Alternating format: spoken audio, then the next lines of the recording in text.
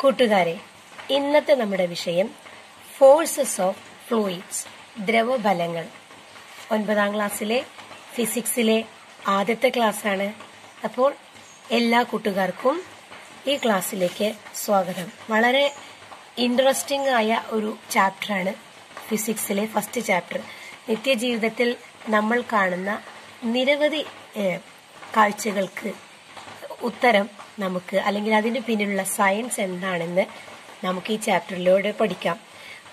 എന്തു എങ്ങനെയാണ് ആകാശത്ത് പ്ലെയിനുകൾ പൊന്തി പറക്കുന്നത്? എങ്ങനെയാണ് ഒരു കപ്പൽ സമുദ്രത്തിലൂടെ മുങ്ങിപ്പോകാതെ മുന്നോട്ട് നീങ്ങുന്നത്? എങ്ങനെയാണ് ഹൈഡ്രജൻ നിറച്ച ഒരു ബലൂൺ വായുവിലേക്ക് ഉയർന്നു പൊങ്ങുന്നത്?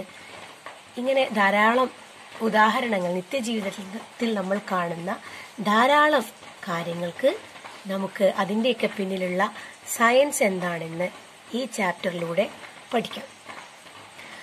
ഫോഴ്സ് എന്ന് പറഞ്ഞാൽ നമുക്കിങ്ങനെ മനസ്സിലാക്കാം.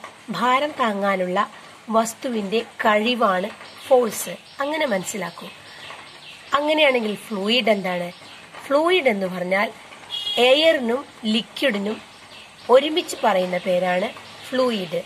വായുവിനും ദ്രാവകത്തിനും കൂടി നമ്മൾ ഒരുമിച്ച് പറയുക ഫ്ലൂയിഡ് ദ്രവം എന്നാണ്. ദ്രാവകത്തിനും വായുവിനും ഒന്നിച്ച് ദ്രവം എന്ന് പറയും. അപ്പോൾ ദ്രവബലങ്ങൾ എയറിന്റെയും അതുപോലെ തന്നെ ലിക്വിഡിന്റെയും ബലങ്ങളെക്കുറിച്ചാണ് ഭാരം താങ്ങാനുള്ള കഴിവുകളെക്കുറിച്ചാണ് നമ്മൾ ഈ അധ്യായത്തിൽ പഠിക്കുന്നത്. ഇതിൽ നമ്മൾ ആദ്യം നോക്കുന്നത് എന്താണ് ബോയൻസി അല്ലെങ്കിൽ പ്ലവക്ഷമ ഫലം എന്താണ് എന്നാണ് നോക്കുന്നത്. അതിനുശേഷം എങ്ങനെയൊക്കെയാണ് പ്ലവക്ഷമ ബലം നമ്മൾ അളക്കുന്നത്?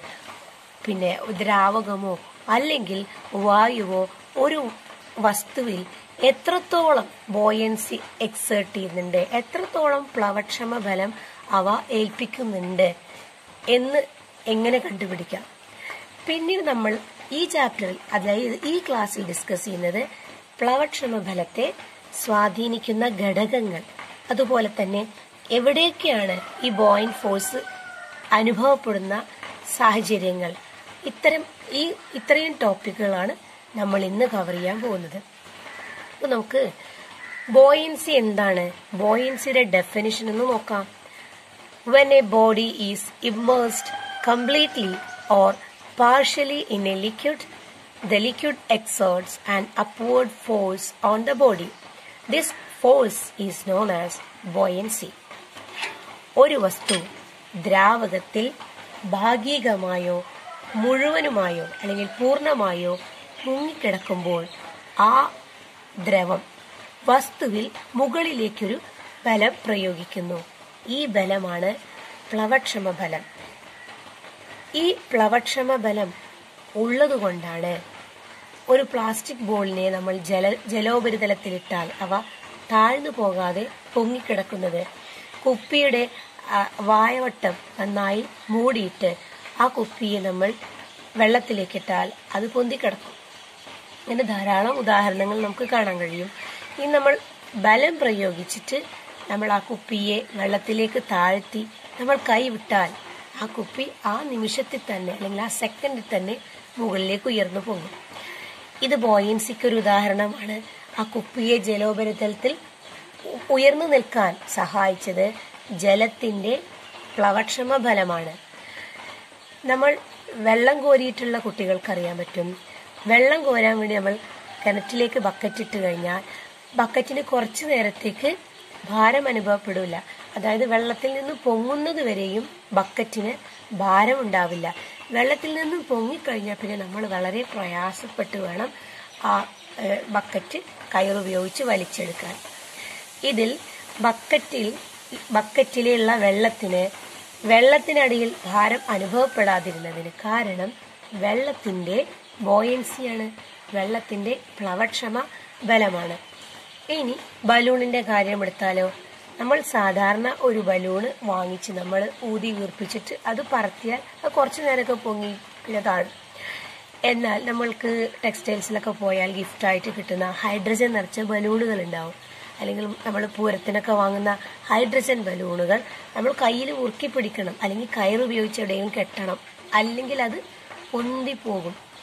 ഇതിന് കാരണം വായുവിന്റെ ഡെൻസിറ്റിയാണ് വായുവിന് വസ്തുക്കളെ മുകളിലേക്ക് ഉയർത്തുവാനുള്ള കഴിവുണ്ട്. അപ്പോൾ ഹൈഡ്രജന് വായുവിനേക്കാളും ഭാരം കുറവായതുകൊണ്ട് ഹൈഡ്രജൻ നിറച്ച ബലൂൺ മുകളിലേക്ക് ഉയർന്നു പൊങ്ങിപ്പോവും ഇതുപോലെ തന്നെയാണ് വിമാനങ്ങൾ. വിമാനങ്ങൾ അന്തരീക്ഷത്തിലൂടെ പറക്കുന്നത് അന്തരീക്ഷത്തിൽ പറന്ന് നടക്കുന്നത് ബോയൻസി കാരണമാണ്. മൂവിങ് ബോയൻസി എന്ന് നമുക്കതിന് പറയാം. കാരണം ചലിക്കുന്ന വസ്തുവിനുള്ള ബോയൻസി ഈ ഇതിന്റെ ഡീറ്റെയിൽ നമുക്ക് അതിന്റെ പിന്നിലുള്ള സയൻസ് നമുക്ക് ക്ലാസിന്റെ ക്ലാസ് പുരോഗമിച്ചുകൊണ്ടിരിക്കുമ്പോൾ അതിന്റെ കൂടെ നമുക്ക് ആഡ് ചെയ്ത് പറയാം. എന്തുകൊണ്ടാണ് എന്നുള്ളത്. ഇപ്പോൾ വിമാനം ചലിക്കുമ്പോൾ മാത്രമാണ് അതിന് ബോയിന്റ് ഫോഴ്സ് ഉണ്ടാകുക വിമാനം അന്തരീക്ഷത്തിലെങ്ങാനും നിന്നു പോയാൽ അത് താഴേക്ക് സിങ്ക് ചെയ്യും. ഇതുപോലെ തന്നെയാണ് കപ്പലിന്റെ കാര്യവും. നമ്മൾ ചെറിയൊരു ആണി എടുത്തിട്ട് വെള്ളത്തിലിട്ടാൽ അത് അടിയിലേക്ക് താഴ്ന്നു പോകും. എന്നാൽ എത്രയോ ഭാരമുള്ള കപ്പൽ സമുദ്രത്തിൽ പൊങ്ങിക്കിടക്കും. ഇതിന് കാരണം ആദ്യമായിട്ട് മനസ്സിലാക്കുക ജലത്തിന്റെ ബോയൻസിയാണ് പിന്നെ അതിന്റെ വിശദാംശങ്ങൾ നമുക്ക് പാടത്തിന്റെ ഉള്ളിലേക്ക് കടക്കുമ്പോൾ നോക്കാം. ഇപ്പോൾ നമ്മൾ നിങ്ങളെ പാടത്തിലുള്ള ഒരു ആക്ടിവിറ്റിയാണ് ജലോപരിതലത്തിൽ പൊങ്ങിക്കിടക്കുന്ന ഒരു പ്ലാസ്റ്റിക് ബോളിനെ ബലം പ്രയോഗിച്ച് ജലത്തിനടിയിലേക്ക് താഴ്ത്തുക. കൈവിടുന്ന ഉടനെ പ്ലാസ്റ്റിക് ബോൾ ജലോപരിതലത്തിലേക്ക് പൊങ്ങി വരികയും ജലോപരിതലത്തിൽ പൊങ്ങിക്കിടക്കുകയും ചെയ്യും. ഇവിടെ ബോളിനെ ജലോപരിതലത്തിൽ പൊങ്ങിക്കിടക്കാൻ സഹി- സഹായിച്ചത് അല്ലെങ്കിൽ ബോളിന് ജലോപരിതലത്തിൽ പൊങ്ങിക്കിടക്കുവാൻ സാധിച്ചത് ജലത്തിന്റെ പ്ലവക്ഷമ ബലം അഥവാ ബോയൻസി മൂലമാണ്. ഇനി നമ്മൾ ആദ്യം തന്നെ പറഞ്ഞു എന്താണ് ദ്രവം അല്ലെങ്കിൽ ഫ്ലൂയിഡ് ദ്രാവകങ്ങളും വാതകങ്ങളും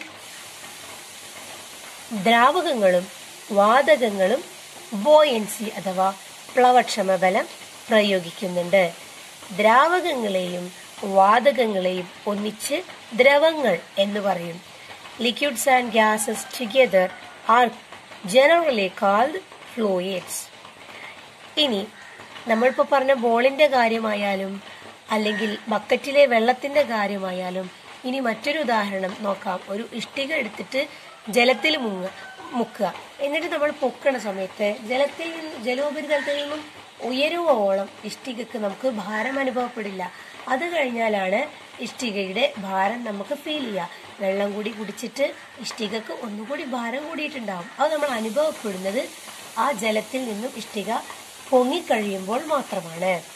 അപ്പോൾ ഈ ഇഷ്ടികക്കായാലും ബോളിനായാലും ബോട്ടിലിനായാലും ദ്രവത്തിൽ നമ്മൾ പറഞ്ഞ ഫ്ലൈറ്റിനായാലും പ്ലെയിനിന് കപ്പലിനായാലും ഒക്കെ ദ്രവത്തിൽ സ്ഥിതി ചെയ്യുന്ന വസ്തുവിന് രണ്ട് തരത്തിലുള്ള ബലങ്ങൾ അനുഭവപ്പെടുന്നുണ്ട്. അതിലൊന്നാമത്തേത് വസ്തുവിന്മേൽ താഴേക്ക് അനുഭവപ്പെടുന്ന ഭാരം. നമ്മൾക്കറിയാം എല്ലാ വസ്തുക്കളെയും ഭൂമി അതിന്റെ കേന്ദ്രത്തിലേക്ക് ആകർഷിക്കുന്നുണ്ട് എന്ന് നമുക്കറിയാം. വസ് പിന്നെ രണ്ടാമത്തെ ബലം. അപ്പൊ അങ്ങനെ ഒരു ബലം ആർക്കുണ്ട്?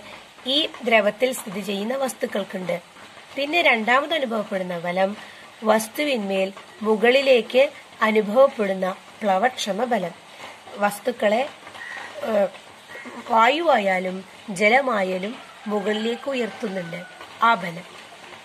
ഇങ്ങനെയുള്ള രണ്ട് ബലങ്ങളാണ് ദ്രവത്തിൽ അല്ലെങ്കിൽ ഫ്ലൂയിഡിൽ സ്ഥിതി ചെയ്യുന്ന ഒരു വസ്തുവിന് അനുഭവപ്പെടുന്നത്. A body situated in fluid അല്ലെങ്കിൽ ലിക്വിഡ് എന്ന് പറയാം. A body situated in liquid experiences two forces the weight of ഒന്നാമത്തത് first one the weight of the body acting up acting downwards due to the gravitational force. Secondly, the buoyancy acting acting not downwards, acting upwards. Secondly, the buoyancy acting upwards. ഇങ്ങനെയുള്ള രണ്ട് ഫോഴ്സുകളാണ് ലിക്വിഡിൽ അല്ലെങ്കിൽ ഫ്ലൂയിഡിൽ സ്ഥിതി ചെയ്യുന്ന ഒരു വസ്തുവിനെ experience ചെയ്യുന്നത്. നമുക്ക് നമ്മുടെ നിത്യജീവിതത്തിൽ ദ്രാവകങ്ങളിലും വാതകങ്ങളിലും അല്ലെങ്കിൽ ഒന്നിച്ച് ദ്രവങ്ങളിൽ പ്ലവക്ഷമ ഫലം അനുഭവപ്പെടുന്ന സന്ദർഭങ്ങളൊന്ന് നോക്കാം. നമ്മൾ ക്ലാസിന്റെ സ്റ്റാർട്ടിങ്ങിലെ പറഞ്ഞു. ഹൈഡ്രജൻ നിറച്ച ബലൂൺ വായുവിൽ പറക്കുന്നത്. ഈ balloon filled with hydrogen rises in the air this is due to buoyancy എക്സാമിന് ചിലപ്പോൾ ക്വസ്റ്റ്യൻ ചോദിക്കാം. ഈ എക്സാമ്പിൾ തന്നിട്ട് what is the science behind this process അല്ലെങ്കിൽ വാട്ട് ഈസ് ദ റീസൺ എന്നൊക്കെ ചോദിക്കാം. അപ്പോൾ രണ്ടാമത്തത് ഫ്ലൈറ്റ് ഓഫ് എയറോപ്ലെയിൻസ് വായുവിലൂടെ വിമാനങ്ങൾ പറക്കുന്നത് ബോയൻസിക്ക് ഉദാഹരണമാണ്. Ships made of iron floats in water ഇരുമ്പ് കൊണ്ടുണ്ടാക്കിയ കപ്പലുകൾ വെള്ളത്തിൽ പൊങ്ങിക്കിടക്കുന്നത്. ഇതെല്ലാം നിത്യജീവിതത്തിൽ ദ്രാവകങ്ങളിലും വാതകങ്ങളിലും പ്ലവക്ഷമ ഫലം അനുഭവപ്പെടുന്ന സന്ദർഭങ്ങളാണ്. Situations buoyant force are experienced അതിനുള്ള എക്സാമ്പിൾസ് ആണ് നമ്മളിപ്പോൾ പറഞ്ഞത് എല്ലാ കാര്യങ്ങളും. ഇനി നമുക്ക് ഈ ബോയിൻസ് ഒന്ന് അളന്ന് നോക്കാം. അപ്പോൾ നമ്മൾ ബക്കറ്റ് വെള്ളത്തിൽ മുങ്ങിക്കിടക്കുമ്പോൾ നമുക്ക് ഒരാഗ്രഹം എങ്ങനെയാ അപ്പോൾ ആ വെള്ളം ബക്കറ്റിൽ എക്സേർട്ട് ചെയ്ത ബോയിന്റ് ഫോഴ്സ് എത്രയായിരിക്കും? അല്ലെങ്കിൽ കുപ്പി ജലോപരിതലത്തിൽ പൊങ്ങിക്കിടക്കുന്ന സമയത്ത് പ്ലാസ്റ്റിക്കിന്റെ ഒഴിഞ്ഞ കുപ്പി ജലോപരിതലത്തിൽ പൊങ്ങിക്കിടക്കുന്ന സമയത്ത് ആ കുപ്പിയിൽ അനുഭവപ്പെട്ട ബോയിന്റ് ഫോഴ്സ് പ്ലവക്ഷമ ബലം എത്രയായിരിക്കും? ഇതൊക്കെ നമുക്ക് അളക്കാൻ കഴിയും. അതിനായി നമുക്കൊരു എക്സ്പെരിമെന്റ് ചെയ്തു നോക്കാം. ഏകദേശം ഒരേ വലിപ്പമുള്ള കല്ലും ലോഹ കഷ്ണവും എടുക്കുക. ടേക്ക് എ പീസ് ഓഫ് ഇതെല്ലാം ഇമ്പോർട്ടന്റ് ആണ്. Write and experiment to prove to measure the buoyancy എന്ന ക്വസ്റ്റ്യൻ വന്നാൽ നമുക്ക് എഴുതി കൊടുക്കാം. Take a piece of stone and a piece of metal of almost same size ഒരേ ഏകദേശം ഒരേ സൈസുള്ള സ്റ്റോണും അതുപോലെ മെറ്റലിന്റെയും പീസ് എടുക്കുക. എന്നിട്ട് ഒരു സ്പ്രിംഗ് ബാലൻസ് ഉപയോഗിച്ച് ഇവയുടെ ഓരോന്നിന്റെയും വായുവിലുള്ള ഭാരം കണക്കാക്കുക. Find the weight of each in air during using a spring balance അപ്പൊ ആദ്യം നമ്മൾ ചെയ്യേണ്ടത് ഒരു സ്പ്രിംഗ് ബാലൻസ് എടുക്കുക. ഇതൊരു സ്പ്രിംഗ് ബാലൻസിന്റെ ചിത്രമാണ്. അപ്പോൾ ഈ സ്പ്രിംഗ് ബാലൻസിൽ ആദ്യം തന്നെ നമ്മൾ ഒരു കല്ലാണ് കെട്ടിയത്. എന്നിട്ട് അതിന്റെ വെയിറ്റ് നോക്കി. കല്ലിന്റെ വെയിറ്റ് മെഷർ ചെയ്തപ്പോൾ അൻപതാണ്. അങ്ങനെ നമ്മൾ കല്ലിന്റെ വെയിറ്റ് അളന്നു. അപ്പൊ സ്പ്രിംഗ് ബാലൻസിൽ കാണിച്ച മെഷർമെന്റ് അൻപത്. അതിനുശേഷം നമ്മൾ പിന്നെ മെറ്റൽ പീസ് എടുത്തിട്ട് അതിന്റെ വെയിറ്റും അളന്നു നോക്കി. പിന്നീട് നമ്മൾ ചെയ്യുന്നത് ഇതേ സ്പ്രിംഗ് ബാലൻസ് ഒരു പാത്രത്തിൽ വെള്ളം എടുത്തിട്ട് ആ വെള്ളത്തിലേക്ക് ഈ കല്ലിനെ ഇറക്കി വെച്ചതിന് ശേഷം വെയിറ്റ് മെഷർ ചെയ്തപ്പോൾ ആദ്യത്തെ ഭാരം അൻപതായിരുന്നെങ്കിൽ ആ ഭാരം കുറഞ്ഞ് നാൽപ്പതായി സ്പ്രിംഗ് ബാലൻസിൽ രേഖപ്പെടുത്തിയിരിക്കുന്നത് കാണാൻ പറ്റും. അപ്പോൾ നമ്മൾ തുടർന്ന് ഓരോന്നിന്റെയും ഓരോന്നിനെയും ജലത്തിൽ താഴ്ത്തി ജലത്തിൽ അനുഭവപ്പെടുന്ന ഭാരവും കണക്കാക്കുക. Then find the weight of each of them when immersed in water അങ്ങനെ നമ്മൾ ചെയ്തപ്പോൾ നമ്മൾക്ക് കിട്ടിയ നമ്മൾ കണ്ടെത്തിയ നിരീക്ഷണം the stone and metal experiences loss of weight in water വായുവിൽ എത്രയായിരുന്നു അവയുടെ ഭാരം? അതിലും കുറഞ്ഞ ഭാരമാണ് വെള്ളത്തിൽ മുക്കിയ ശേഷം സ്പ്രിംഗ് ബാലൻസ് രേഖപ്പെടുത്തിയത്. കല്ലിനും ലോഹക്കഷ്ണത്തിനും ജലത്തിൽ ഭാരം കുറവായിരിക്കും. ഇതിൽ നിന്നും നമ്മൾ കണ്ടെത്തിയത് കല്ലിനും മെറ്റലിനും ജലത്തിൽ ഭാരക്കുറവ് അനുഭവപ്പെടാൻ കാരണം ജലത്തിന്റെ പ്ലവക്ഷമ ബലമാണ്. Our finding is the loss of weight experienced by the stone and metal is due to the buoyancy of water അതായത് ഒരു വസ്തുവിന് അത് ദ്രവത്തിലായിരിക്കുമ്പോൾ അനുഭവപ്പെടുന്ന പ്ലവക്ഷമ ബലം കണക്കാക്കുവാൻ വസ്തുവിന് ആ ദ്രവത്തിലുണ്ടായ ഭാരക്കുറവ് കണ്ടെത്തിയാൽ മതി. നമുക്ക് കണ്ടെത്തിക്കൂടെ? ഏതിന്റെ ആയാലും നമുക്ക് ഭാരം ആ വസ്തുവിൽ ആ ദ്രവം എക്സേർട്ട് ചെയ്ത ബോയിൻ ഫോഴ്സ് എത്രയാണെന്ന് കണ്ടെത്താൻ നമുക്ക് എന്ത് ചെയ്താൽ മതി? ആ ദ്രവത്തിൽ ആ വസ്തുവിന് എത്ര ഭാരക്കുറവ് അനുഭവപ്പെട്ടു എന്ന് കണ്ടെത്തിയാൽ മതി? ഇനി നമുക്ക് ഈ കണ്ടെത്തിയ കാര്യങ്ങളെ നമുക്ക് പട്ടികപ്പെടുത്തി നോക്കാം. In to In to calculate the buoyancy experienced by a substance immersed in a fluid it is enough to find out the loss of weight of the substance in that fluid. ആ ഫ്ലൂയിഡിൽ ആ വസ്തുവിന് എത്ര ഭാരക്കുറവ് അനുഭവപ്പെട്ടു എന്ന് മാത്രം നമ്മൾ കണ്ടെത്തിയാൽ മതി. ഇപ്പൊ നമ്മളെ എക്സ്പീരിയൻസിലെ നമ്മളെ എക്സ്പെരിമെന്റിൽ സ്പ്രിംഗ് ബാലൻസിന്റെ മെഷർമെന്റ് നമ്മൾ എന്ത് ചെയ്തിട്ടുണ്ട്? ടാബുലേറ്റ് ചെയ്തിട്ടുണ്ട് രേഖപ്പെടുത്തിയിട്ടുണ്ട്. ഇപ്പോൾ വായുവിലെ ഭാരം നമ്മൾ നോക്കിയപ്പോൾ അൻപതായിരുന്നു. ജലത്തിലെ ഭാരം കുറഞ്ഞു നാൽപ്പതായി കുറഞ്ഞു. അപ്പോൾ ഭാരക്കുറവ് എത്രയായിരുന്നു? ആകെ അനുഭവപ്പെട്ട ഭാരക്കുറവ് അമ്പതിൽ നിന്നും നാൽപ്പതിനെ കുറച്ചപ്പോൾ പത്താണ്. അപ്പോൾ ഇവിടുത്തെ ബോയിന്റ് ഫോഴ്സ് എന്ന് പറയുന്നത് ഈ പത്താണ്. ഇനി ലോഹകഷ്ണത്തിന് എന്റെ വെയിറ്റ് നോക്കിയപ്പോൾ അറുപതായിരുന്നു. ന്യൂട്ടൺ ഏഹ്, അളവ് ന്യൂട്രണിൽ എടുക്കുകയാണെങ്കിൽ അറുപത് ന്യൂട്ടൺ അതേസമയം ജലത്തിൽ വെച്ചപ്പോൾ അതിന്റെ ഭാരം കുറഞ്ഞു അൻപതായി കുറഞ്ഞു. അപ്പൊ എത്രയായിരുന്നു ഭാര വ്യത്യാസം വന്നത്? ആദ്യത്തെ അറുപത് പിന്നെ ജലത്തിൽ വെച്ചപ്പോൾ അൻപതായി. അറുപതിൽ നിന്നും പത്ത് കുറച്ചപ്പോൾ പത്ത്. അപ്പോൾ ഇവിടെയും എന്താണ് നമുക്ക് ബോയൻസി പത്താണ് എന്ന് ലോസ് ഓഫ് വെയിറ്റ് പത്താണെന്ന് നമുക്ക് കണക്കാക്കാം. അപ്പൊ ബോയൻസി എന്താണ് എന്ന് നമുക്ക് മനസ്സിലായി. അതായത് വസ്തുക്കളെ ജലോപരിതലത്തിലെ ഉയർത്തുവാൻ വസ്തുക്കളെ മുകളിലേക്ക് ഉയർത്തുവാൻ അല്ലെങ്കിൽ വസ്തുക്കളെ താങ്ങി നിർത്തുവാനുള്ള ദ്രവങ്ങളുടെ ഫ്ലൂയിഡിന്റെ കഴിവാണ് ഫോഴ്സ് ഓഫ് ഫ്ലൂയിഡ് അല്ലെങ്കിൽ ദ്രവബലം അതും അല്ലെങ്കിൽ ബോയൻസി എന്ന് നമുക്ക് പറയാം. ഇനി ഫാക്ടേഴ്സ് ദാറ്റ് ഇൻഫ്ലുവൻസ് ബോയൻസി പ്ലവക്ഷമ ബലത്തെ സ്വാധീനിക്കുന്ന ഘടകങ്ങൾ എന്തെല്ലാമാണ്? അത് നമുക്ക് നോക്കാം. ഒരു വസ്തുവിന് എല്ലാ ദ്രാവകങ്ങളിലും ഒരേ അളവിലുള്ള പ്ലവക്ഷമമല്ല പ്ലവക്ഷമ ബലമല്ല അനുഭവപ്പെടുന്നത്. അപ്പോൾ ദ്രാവകങ്ങൾ പലതരത്തിലുണ്ട്. ഇപ്പൊ മണ്ണെണ്ണ ഒരു ദ്രാവകമാണ് ശുദ്ധജലം ദ്രാവകമാണ്. പിന്നെ നമുക്ക് ഉപ്പുജലം എടുക്കാം. ഇങ്ങനെ മൂന്ന് ജലങ്ങൾ എടുത്ത് നമ്മൾ നേരത്തെ കണ്ട നേരത്തെ ചെയ്ത എക്സ്പെരിമെന്റിലെ ഈ കല്ലിനെ നമുക്ക് എന്ത് ചെയ്യാം? മൂന്ന് ട്രേകളിൽ മൂന്ന് ടൈപ്പ് ജലമെടുക്കുക ഒരു ട്രേയിൽ ശുദ്ധജലം ഒരു ട്രേയിൽ മണ്ണെണ്ണ മറ്റൊരു ട്രേയിൽ ഉപ്പുവെള്ളം. എന്നിട്ട് ഈ സ്പ്രിംഗ് ബാലൻസ് രേഖപ്പെടുത്തുന്ന വെയിറ്റ് നമുക്ക് നോക്കി നോക്കാം. ഇതെന്തിനു വേണ്ടിയിട്ടാണ്?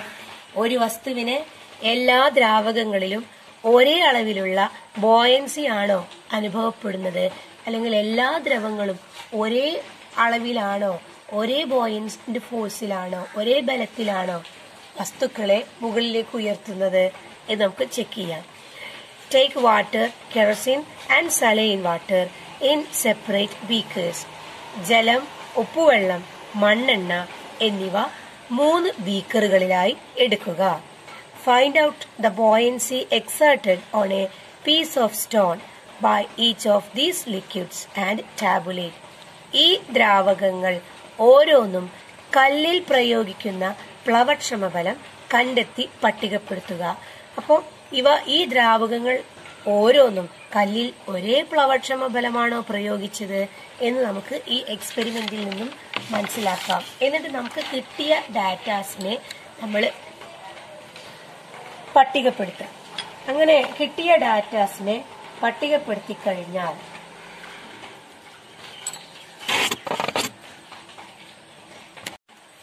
ആ പട്ടിക നോക്കി നോക്കൂ. ഇപ്പോൾ ദ്രാവകം ഇതെല്ലാം ഞാൻ എക്സ്പെരിമെന്റ് ചെയ്തിട്ട് ടാബ്ലേറ്റ് ചെയ്തതല്ല ജസ്റ്റ് മെഷർമെന്റ് എഴുതിയതാണ്. അപ്പൊ കല്ലിന്റെ ഭാരം വായുവിൽ അൻപത് അൻപത് എന്ന് നമ്മൾ രേഖപ്പെടുത്തുക. പിന്നീട് കല്ലിന്റെ ഭാരം ദ്രവത്തിൽ നോക്കിയപ്പോൾ അപ്പോൾ സ്പ്രിംഗ് ബാലൻസ് രേഖപ്പെടുത്തിയത് മണ്ണെണ്ണ മണ്ണെണ്ണ അൻപത് ഗ്രാം ഭാരമുള്ള കല്ലിനെ മണ്ണെണ്ണയിൽ മുക്കിയിട്ട് നമ്മൾ അതിന്റെ ഭാരം നോക്കിയപ്പോൾ ഭാരം കുറഞ്ഞിരിക്കുന്നു. നാൽപ്പത് ആയി കുറഞ്ഞിരിക്കുന്നു ഭാരം. അപ്പോൾ കല്ലിനുണ്ടായ ഭാരക്കുറവ് അൻപത് മൈനസ് നാൽപ്പത് പത്തായി മാറിയിരിക്കുന്നു. ഇനി ഉപ്പുവെള്ളത്തിലാണ് നമ്മൾ പിന്നെ അടുത്തതായി ഈ കല്ലിനെ മുക്കിയത്. അങ്ങനെ കല്ലിനെ ഉപ്പുവെള്ളത്തിൽ മുക്കിയപ്പോൾ കല്ലിന്റെ ഭാരം വളരെ കുറഞ്ഞു. വെറും പത്തായി കുറഞ്ഞു കല്ലിന്റെ ഭാരം. എന്നിട്ട് കല്ലിനുണ്ടായ പ്ലവക്ഷമ ബലം അല്ലെങ്കിൽ കല്ലിന്റെ മേൽ ഉപ്പുവെള്ളത്തിനെ ബോയിൻസി എത്രയാണെന്ന് നോക്കാൻ വേണ്ടിയിട്ട് വായുവിലുള്ള ഭാരത്തെ ഉപ്പുവെള്ളത്തിലുള്ള ഭാരത്തിൽ നിന്നും കുറച്ചപ്പോൾ നമുക്ക് നാൽപ്പതാണ്. അപ്പൊ ഇവിടെ ഉപ്പുജലത്തിൽ ഒരുപാട് ബോയിൻ ഫോഴ്സ് കൂടുതലാണ്. വെള്ളത്തിൽ നോക്കിയപ്പോഴോ ശുദ്ധജലത്തിൽ ഇട്ടപ്പോഴും കല്ലിന്റെ ഭാരം കുറഞ്ഞു. പക്ഷേ ഉപ്പുജലത്തിനോളം തന്നെ ഇല്ല. ഇവിടെ ഭാരം മുപ്പത് കാണിച്ചു. അങ്ങനെ ജലത്തിന്റെ ബോയിന്റ് ഫോഴ്സ് നോക്കിയപ്പോൾ അൻപത് മൈനസ് മുപ്പത് ഇരുപതായി ഈ പട്ടികയിൽ നിന്ന് തന്നെ നമുക്ക് എന്ത് കണ്ടെത്താം? കല്ലിന്റെ ഭാരം വ്യത്യസ്ത ദ്രാവകങ്ങളിൽ വ്യത്യസ്തമാണ് എന്ന് മനസ്സിലാക്കാം. അപ്പൊ കല്ലിന്റെ ഭാരം ഏറ്റവും കുറഞ്ഞ കുറവ് അനുഭവപ്പെട്ടത് ഉപ്പുവെള്ളത്തിലായിരുന്നു. കെറസിൻ മണ്ണെണ്ണയുടെ ഭാരം മണ്ണെണ്ണയിൽ കല്ലിന്റെ ഭാരം ഏറ്റവും കൂടുതലായിരുന്നു. ജലത്തിലാണ് കല്ലിന്റെ ഭാരം. പിന്നെ അതിനേക്കാളും ഇതിനേക്കാളും ഉപ്പുവെള്ള മണ്ണെണ്ണേക്കാളും കുറച്ച് കുറഞ്ഞത് ജലത്തിലാണ്. മുപ്പതായി. എക്സ്പെരിമെന്റിന് താഴെയുള്ള ക്വസ്റ്റ്യൻസ് നോക്കാം.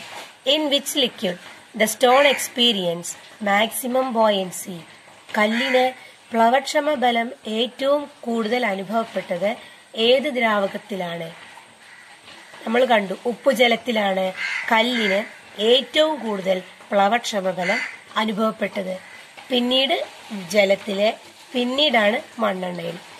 In which liquid did the stone experience the least buoyancy ഏറ്റവും കുറവ് ബോയൻസി അനുഭവപ്പെട്ടത് അല്ലെങ്കിൽ കല്ല് കൂടുതൽ താഴ്ന്നു പോയത് ഏത് ദ്രാവകത്തിലാണ്? മണ്ണെണ്ണയിലായിരുന്നു കെറോസിനായിരുന്നു നിഗമനം. ഇതിൽ നിന്ന് നമ്മൾ എത്തിയ നിഗമനം ഒരു ദ്രാവകത്തിൽ ഒരു വസ്തുവിന് അനുഭവപ്പെടുന്ന പ്ലവക്ഷമ ബലത്തെ സ്വാധീനിക്കുന്ന ഒരു ഘടകമാണ് ദ്രാവകത്തിന്റെ സാന്ദ്രത. Density of a liquid is a factor that influences the buoyancy of a body in that liquid അപ്പോൾ ഒരു വസ്തുവിന്റെ ബോയൻസി അല്ലെങ്കിൽ ഒരു വസ്തുവിനെ ജലോ വസ്തുവിനെ ഉയർത്തി നിർത്തുവാനുള്ള ആ ദ്രവത്തിന്റെ കഴിവ് ആ ദ്രവത്തിന്റെ ഡെൻസിറ്റിയെ ആശ്രയിച്ചിരിക്കും. ദ്രവത്തിന് ഡെൻസിറ്റി കൂടുതലാണെങ്കിൽ അവയ്ക്ക് ബോയിൻസി കൂടും പ്ലവക്ഷമ ബലം കൂടുതലായിരിക്കും. നമ്മുടെ ഉദാഹരണത്തിൽ സലൈൻ വാട്ടറിനാണ് ഏറ്റവും കൂടുതൽ ഡെൻസിറ്റി ഉള്ളത്. മാസ് പെർ യൂണിറ്റ് വോളിയമാണ് ഡെൻസിറ്റി അത് ഏറ്റവും കൂടുതലുള്ളത് ഉപ്പുജലത്തിനാണ്. പിന്നെ ശുദ്ധജലത്തിന് ഡെൻസിറ്റി ഏറ്റവും കുറവ് അല്ലെങ്കിൽ മണ്ണെണ്ണക്ക് കനം വളരെ കുറവാണ്. അതുകൊണ്ടാണ് അവ ജലോപരിതലത്തിൽ പാറിക്കിടക്കുന്നത്. അപ്പോൾ ഡെൻസിറ്റി ഏറ്റവും കുറഞ്ഞ കെറസിന് ബോയിൻ ഫോഴ്സും വളരെ കുറവാണ്. ഇനി നോക്കൂ arrange the liquid in the ascending order of their densities density കൂടി വരുന്നതിന്റെ അടിസ്ഥാനത്തിൽ ഈ ലിക്വിഡ്സിനെ ഈ ദ്രാവകങ്ങളെ അറേഞ്ച് ചെയ്യാം അപ്പൊ ഡെൻസിറ്റി ഏറ്റവും കുറവ് മണ്ണെണ്ണ കെറോസിൻ അത് കഴിഞ്ഞിട്ട് പിന്നെ വാട്ടർ പിന്നെ സലൈൻ വാട്ടർ അപ്പൊ ഡെൻസിറ്റി ഏറ്റവും കൂടുതൽ സലൈൻ വാട്ടർ പിന്നെ വാട്ടർ പിന്നെ മണ്ണെണ്ണ. ഡെൻസിറ്റി ഏറ്റവും കുറവ് നോക്കിയാൽ മണ്ണെണ്ണ ജലം ഉപ്പുജലം In order to calculate the buoyancy experienced by a substance, in order to calculate the buoyancy experienced by a substance, ഇത് നമ്മൾ പറഞ്ഞു കഴിഞ്ഞ കാര്യമാണ്. ഇനി അടുത്തത് നോക്കാം. Buoyant force increases as density increases സാന്ദ്രത കൂടുമ്പോൾ പ്ലവക്ഷമ ബലം കൂടുതലായിരിക്കും. അതായത് സാന്ദ്രത കൂടുമ്പോൾ വസ്തുക്കൾ ദ്രവത്തിൽ കൂടുതൽ പൊങ്ങിക്കിടക്കും. ഇനി ഒരു ചോദ്യം. Does a ship enters a fresh water does a ship that enters a fresh water lake from the ocean sink more or rise more justify your answer കടലിൽ നിന്നും ശുദ്ധജല തടാകത്തിലേക്ക് പ്രവേശിക്കുന്ന കപ്പൽ ജലത്തിൽ കൂടുതൽ താഴുമോ ഉയരുമോ? ഉത്തരം സാധൂകരിക്കുക. കടലിൽ നിന്നും ശുദ്ധജലത്തിൽ തടാകത്തിലേക്ക് പ്രവേശിക്കുന്ന കപ്പൽ താഴും. കാരണം കടലിൽ ഉപ്പുജലമാണ്. ഉപ്പുജലത്തിന് സാന്ദ്രത വളരെ കൂടുതലാണ്. അപ്പോൾ ഉപ്പുജലത്തിൽ കൂടുതൽ ഉയർന്നു പൊങ്ങിക്കിടന്ന കപ്പൽ ശുദ്ധജലത്തിലേക്ക് വരുമ്പോൾ ശുദ്ധജലത്തിന് ഡെൻസിറ്റി അഥവാ സാന്ദ്രത കുറവായതുകൊണ്ട് കപ്പൽ എന്ത് ചെയ്യും? അല്പം കൂടി താഴും. കപ്പലിന് കുറച്ചും കൂടി ഭാരം അവിടെ അനുഭവപ്പെടും. അപ്പോൾ the ship sinks more because the density of fresh water in the like in the lake is less than the density of ocean water. Because ocean water is saline. ആ പോയിന്റ് ആണ് അവിടെ ഇമ്പോർട്ടന്റ് അതെ കപ്പൽ ശുദ്ധജലത്തിൽ കൂടുതൽ താഴുന്നു. കാരണം ശുദ്ധജലത്തിന്റെ സാന്ദ്രത ഉപ്പുവെള്ളത്തെക്കാൾ കുറവാണ്. സാന്ദ്രത കൂടുമ്പോൾ എന്താണ്? കൂടുതൽ പൊങ്ങിക്കിടക്കും. ഇത്രയുമാണ് ഈ ടോപ്പിക്ക് അതായത് ബോയൻസിയെ സ്വാധീനിക്കുന്ന ഘടകങ്ങളിൽ ഒരെണ്ണം നമ്മൾ പറഞ്ഞു കഴിഞ്ഞു. അത് ഡെൻസിറ്റിയാണ്. ഡെൻസിറ്റി കൂടുമ്പോൾ ദ്രവങ്ങളുടെ ബോയൻസി കൂടും. ഇനി ഒരു വസ്തുവിന് വിവിധ ദ്രവങ്ങളിൽ വ്യത്യസ്ത ബോയൻസി അനുഭവപ്പെടും നമ്മളിപ്പോ കണ്ടു. ഒരേ വസ്തുവിനെ നമ്മൾ എന്ത് ചെയ്തു? അതായത് കല്ലിനെ നമ്മൾ വ്യത്യസ്ത ദ്രവങ്ങളിൽ മുക്കി നോക്കി. ജലത്തിൽ മുക്കി ഉപ്പുവെള്ളത്തിൽ മുക്കി മണ്ണെണ്ണയിൽ മുക്കി. അപ്പോൾ അവിടേക്ക് എന്താണ് ബോയൻസി വ്യത്യസ്തമാണ് എന്ന് നമ്മൾ കണ്ടു. ഇനി ഒരേ ഭാരമുള്ള രണ്ട് വസ്തു വ്യത്യസ്ത വസ്തുക്കൾക്ക് ഒരേ ബോയൻസിയാണോ അനുഭവപ്പെടുക? അതാണ് നമുക്ക് അടുത്തതായിട്ട് നടത്തേണ്ട പരീക്ഷണം. നോക്കാം. എക്സ്പെരിമെന്റുകളൊക്കെ നിങ്ങൾ എഴുതിയെടുക്കേണ്ടതാണ്. ഒരേ ഭാരമുള്ള എന്നാൽ വലിപ്പത്തിൽ വ്യത്യാസമുള്ള ഒരു ഇരുമ്പ് കട്ടയും ചെമ്പ് കട്ടയും എടുക്കുക.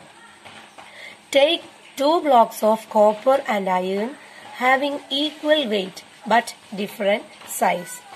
എന്നിട്ട് നമ്മൾ എന്ത് ചെയ്യാം? അവയെ വെള്ളത്തിൽ മുക്കി നോക്കുക അപ്പോൾ കോപ്പറിന്റെ വെയിറ്റ് ഇൻ എയർ നൂറ്റി ഇരുപതായിരുന്നു അതന്നെയാണ് അയൺ ബ്ലോക്കിന്റെയും ഇരുമ്പ് ഘട്ടക്കും നൂറ്റി ഇരുപതായിരുന്നു വായുവിലുള്ള ഭാരം. ഇനി വെയിറ്റ് ഇൻ വാട്ടർ നോക്കിയാലോ? ജലത്തിലെ ഭാരം നോക്കിയപ്പോൾ ജലത്തിലെ ഭാരം കുറഞ്ഞു. എൺപത് മാത്രമായിരുന്നു ജലത്തിലെ ഭാരം. ഇനി അവിടെ പ്ലവക്ഷമ ബലം നോക്കി. അതായത് വായുവിലുള്ള ഭാരത്തിൽ നിന്നും ജലത്തിലുള്ള ഭാരത്തെ കുറച്ചു. അപ്പൊ നൂറ്റി ഇരുപത് മൈനസ് എൺപത് ഈക്വൽ ടു നാൽപ്പത് ഇവിടെ കിലോഗ്രാമിൽ അല്ലെങ്കിൽ ന്യൂട്ടണിൽ നമുക്ക് ഭാരം പറയാം. പിന്നെ അയൺ ബ്ലോക്കിലോ ജലത്തിലെ ഭാരം നോക്കിയപ്പോൾ ഇരുമ്പ് ചെമ്പ് കട്ടയേക്കാളും കൂടുതലാണ്. നൂറാണ്. അപ്പൊ ഇവിടെ ജലം എക്സേർട്ട് ചെയ്ത ബോയിൻ ഫോഴ്സ് നോക്കിയപ്പോൾ ഇരുപതാണ്. അപ്പൊ ചെമ്പ് കട്ടക്കാണ് കൂടുതൽ ജലത്തിൽ പൊങ്ങിക്കിടക്കുന്നത് ഇരുമ്പിനേക്കാളും. ഇരുമ്പിന് ബോയിൻ ഫോഴ്സ് കുറവാണ്. The buoyancy experienced by each block is not the same why ഓരോ കട്ടയ്ക്കും അനുഭവപ്പെട്ട പ്ലവക്ഷമ ഫലം വ്യത്യസ്തമാണ്. കാരണമെന്ത്? Because volume of both blocks are not same അതാണ്. കാരണം എന്താന്ന് വെച്ചാൽ രണ്ട് കട്ടകളുടെയും വ്യാപ്തം വ്യത്യസ്തമാണ്. രണ്ട് കട്ടകളുടെയും വ്യാപ്തം വ്യത്യസ്തമാണ്.